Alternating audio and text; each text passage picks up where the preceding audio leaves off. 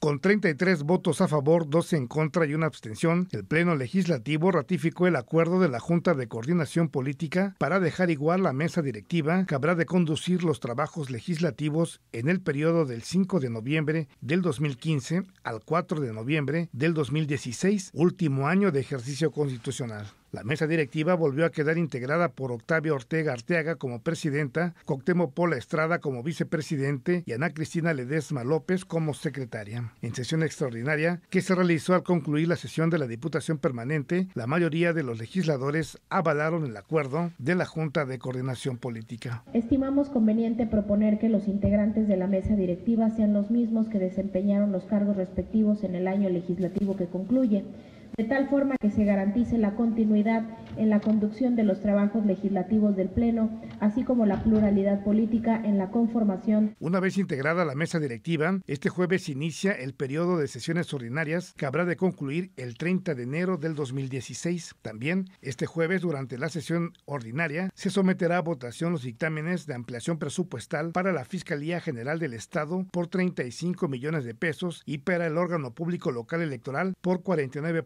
8 millones de pesos. Javier Salas Hernández, más noticias.